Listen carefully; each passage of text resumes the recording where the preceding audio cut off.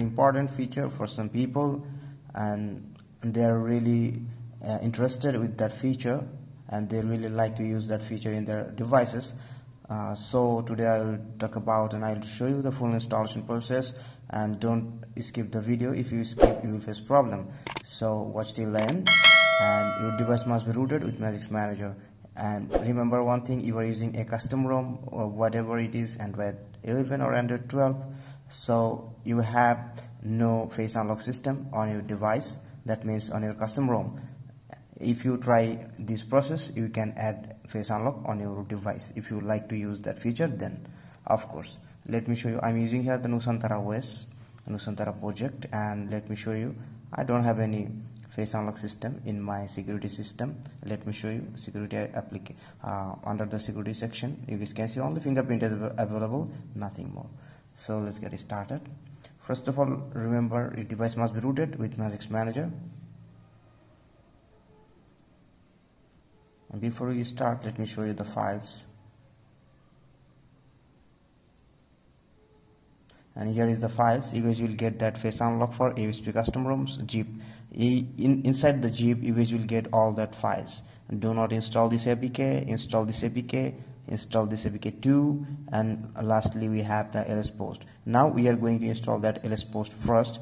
So open magisk go to module section and install from storage and navigate to the folder you have stored your files. So here is mine. Just select the LSPosed and let it be flashed and it's already done. Just reboot system. I am just skipping that part so device finally booted and you guys can uh, see here the quick setup that means you guys will get a notification to add home screen the post. So i'm going to add this one. And you guys can see here the post is here. Now get back to the folder the face unlock folder. And install this apk1 and let it be installed. Universal authentication. And click on done. Get back.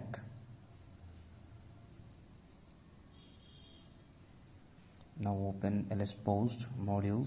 Just click on enable. And here you can see universal authentication and which is enabled. Let me find that here you guys can see LSPosed is now activated. We using Zygisk and that's the system version and API just click on that module option and you guys can see here the universal authentication is here and we already enabled it. So get back. Now install this apk2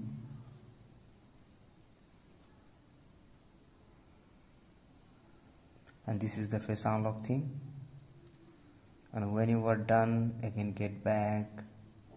And you will get that application. Just open it. And it will ask for download required but don't click on ok. Don't download. Just click on manual import. Now navigate to the folder. Again. And select do not install this apk so allow and accessibility not enabled just enable this one too. Go to face unlock and enable from accessibility and face unlock shortcut if you need then you can enable otherwise no need. Now it's okay. Now we are ready to uh, install our face. So let me show you that. And here is the application which we already installed and which was number two. Just open that and click start setup. Now setup and it will ask permission and you guys will be able to add your face system. So this is the video guys. Hope you guys uh, like my work. If you like my work then do subscribe and uh, really thanks to you people. So thank you for watching